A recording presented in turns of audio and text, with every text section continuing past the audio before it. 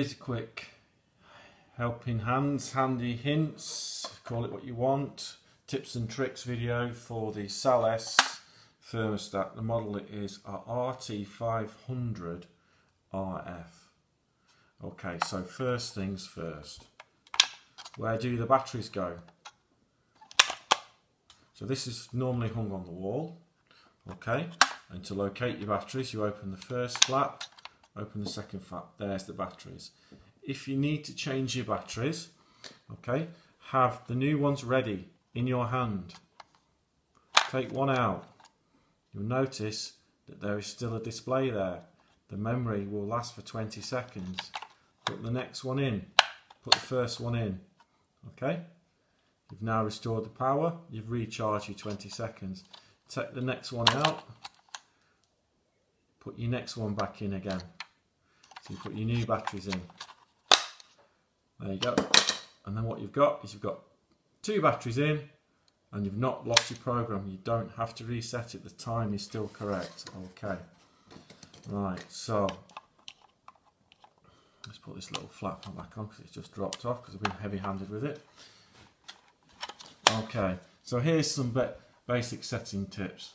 Obviously, uh, right, so you walk into your house and it's showing 20 degrees. That's the temperature of your house. You're too cold, for example. So you hit the up button. So you're going to change this temperature to above 20 degrees, 21. Now that is now going to send a signal to the receiver for this unit and that's going to bring your heating on.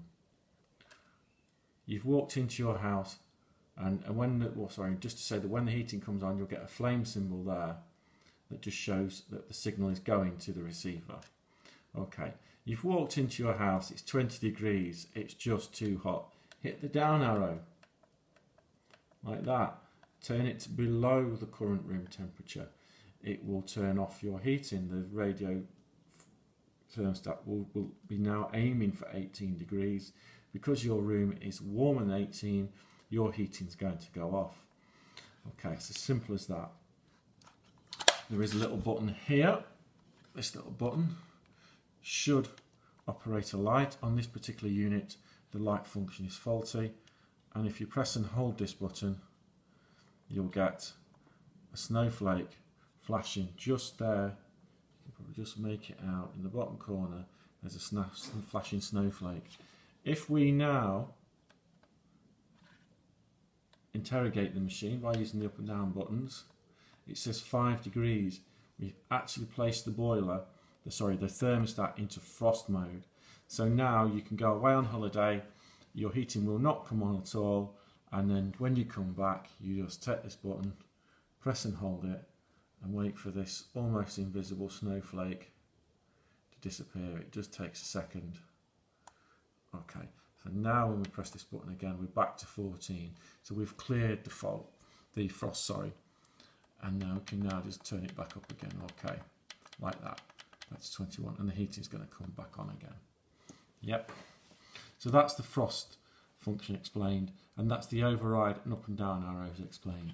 And also there's a battery level indicator there that tells you how much juice you've got left in the battery. Oh that's a better picture. Let's just see if they can get the frost to come up. There we go. So you can see the frost flashing now in the bottom right hand corner, little frost sign. Okay, so let's just clear that again.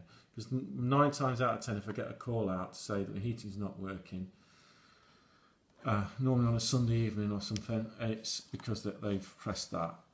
Okay, so now if we open up, we've got a nice little removable flap, and just there, you may want to freeze frame this. Here's some instructions. There's a model name and some instructions.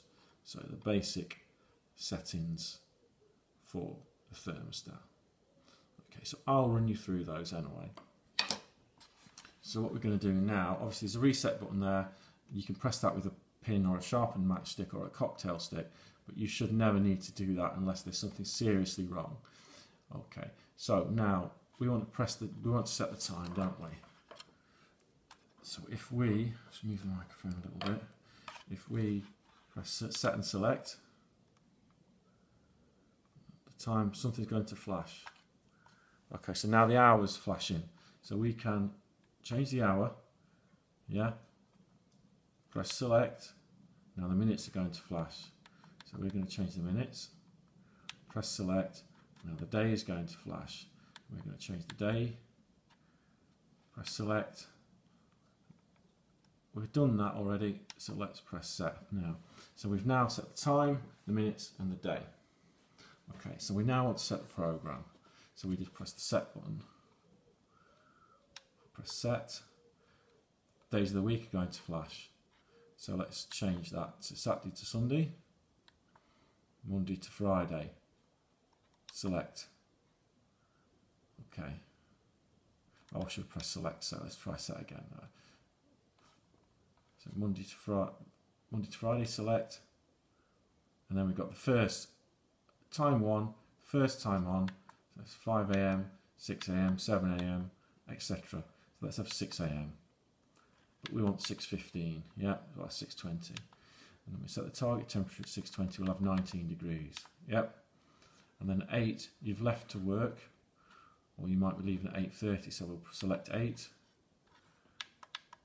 30, and we want the temperature to to, drop to 15 degrees select.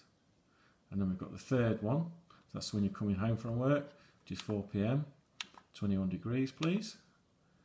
6 p.m. you want still want 21 degrees. And the last one, num number five, you're going to bed. It's 10 p.m. You want 14 degrees till the morning. Set. That's how you set the programs on a Salus RT 500 RF. It's as simple as that. It's a very basic machine, but if you set it correctly, it will be absolutely fine. Thank you for watching. Please like, comment and subscribe.